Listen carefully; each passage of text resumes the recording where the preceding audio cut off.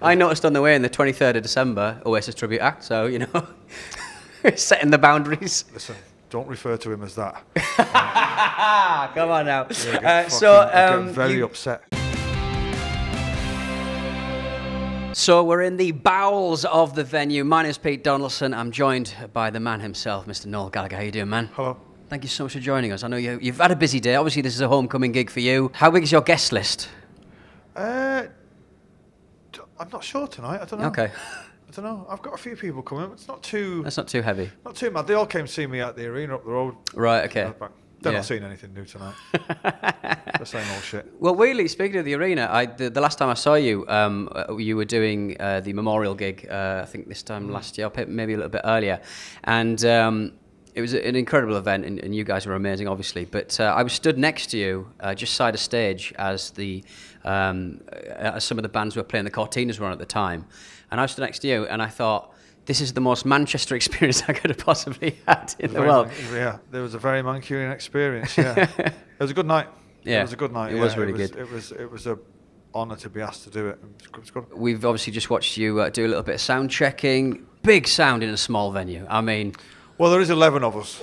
well, no, it's a good. Yes, yeah it's, well, it sounds great where I am anyway. so, yeah, it's, yeah, it's yeah, yeah. incredible. I mean, d d do you kind of look at, at, at the kind of ensemble? How do you put together like a touring band like that? Personally, it, uh, I don't go for the best musicians. I go for the best people. Right. Yeah. So if we all get on, yeah. if there would be some guy who's the best fucking keyboard player in the world but was a bit of a knob, Yeah. you'd rather go with a guy who's um, Less of a knob. less of a knob uh, and a more adequate musician. So I've got a pretty good judge of people when I meet them. Do you know what I mean? Yeah. Okay. And I, I say to them, this, when you get playing with people who are helping you do your thing, they want it, they they want to get it right all the time, and they, you know, I always say to them, you, you're not here because you're the best.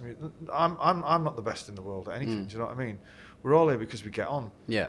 and um, which is the great thing about this particular lineup is it's already like a little kind of family. So. Um, uh, it's it's it's been a pleasure. I mean, we've been on the road since February. It's been every day's been great. So, um, but not to put it together, you just you just you, you, you hope for the best. You know Yeah. what I mean? I mean, if anybody's particularly bad, you get rid of them.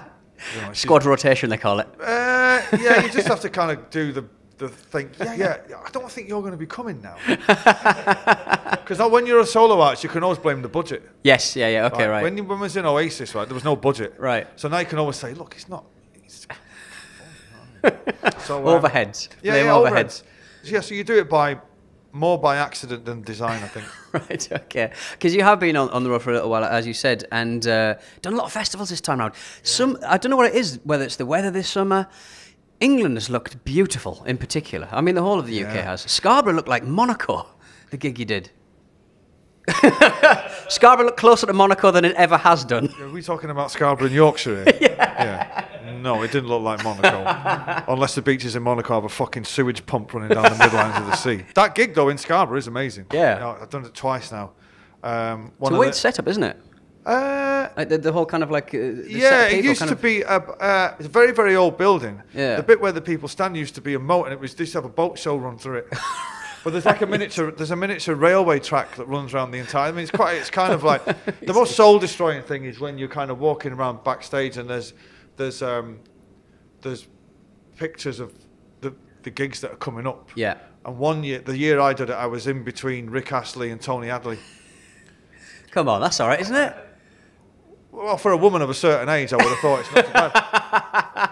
but you know what I mean? I was kind of looking at it thinking, is this how it's going to end? Well, well, I noticed on the way in there's an Is Oasis tribute act thi- I playing mean, the is twenty this third. I noticed on the way in the twenty third of December Oasis tribute act. So you know, setting the boundaries. Listen, don't refer to him as that. Come on now. Get Uh, so um, very you, upset. You, you predicted that um, you predicted it wasn't going to come home. You said so on stage. Yeah, there was a bit of there was a bit of stink about that. There's a bit of- yeah, you kicked up a people get so fucking. They, were so. Uh, uh, uh, what's the word I'm looking for?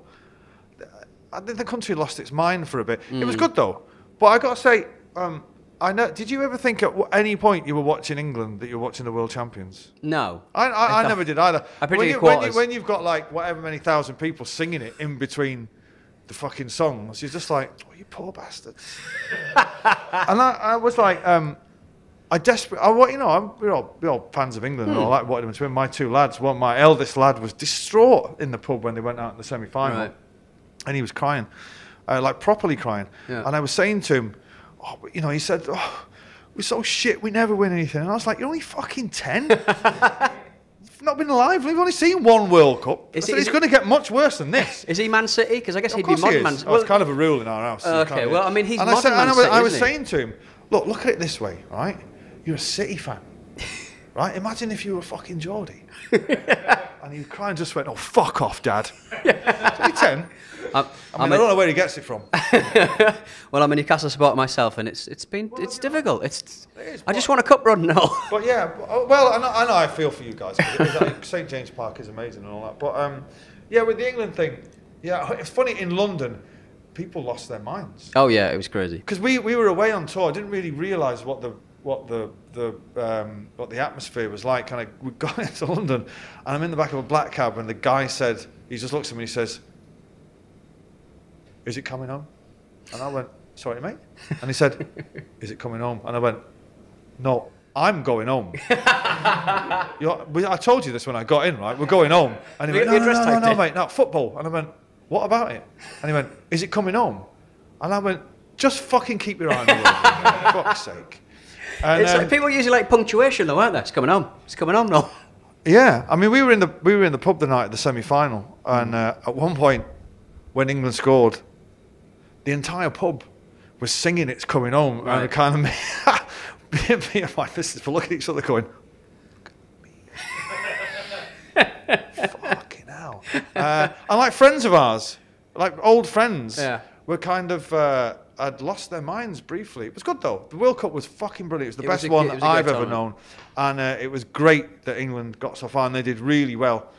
And um, it just goes to show you, though, when the, when the England team do well, it fucking lifts the whole country. You know what I. Mean? And uh, it's going to be great for the Euros if they can do well there in the, the finals and the semi-finals at Wembley and all that. It's going to be brilliant.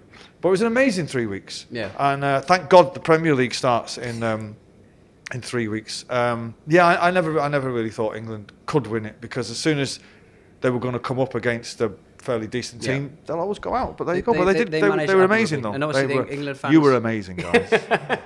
The England fans uh, obviously ended the. Uh, the- they just well, did out again, they sang two, Back two, on two, they? two things happened in the World Cup. England, the football team, didn't disgrace themselves. Hmm. And the English football fans never disgraced themselves No. either.